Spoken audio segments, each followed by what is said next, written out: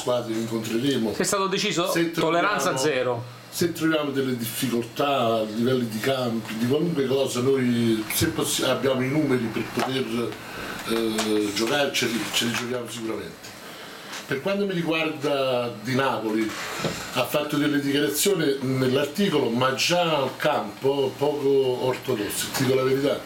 Non voglio, cioè, ognuno la, la partita la guarda con i suoi occhi.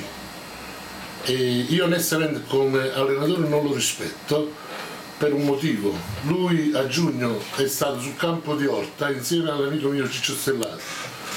E niente, mi ha chiesto di venire ad allenare a Orta portandomi 30.000 euro di sponsorizzazione. Io l'ho rifiutato come allenatore. E questo è uno di quegli altri 8-9 che appartengono a questo gruppo di allenatori. Cioè secondo me se si dimette e se ne va, fa sp- risparmiare qualcosa di soldi al presidente Ci stanno ancora questi allenatori che fanno stanno, questo. stanno penultimo. Eh, stanno, ultimi, ci, stanno, ci stanno rimettendo un sacco di soldi perché se andiamo a valutare i giocatori che ha portato sto di Napoli, no?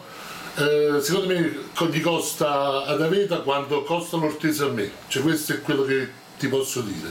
Si è inchinato Anche rapporto d'amicizia, Presidente. Sicuramente, eh, sto dicendo delle cose molto gravi e me ne piglio tutte le responsabilità perché sono cose che sono successe sul campo di Orto. Come di Simone c'era Alessandro Oz, Ciccio Stellato, amico suo e amico mio. E lui è un allenatore che ogni anno ha bisogno di qualcuno che sponsorizza questa cosa e lui ti porta le sponsorizzazioni.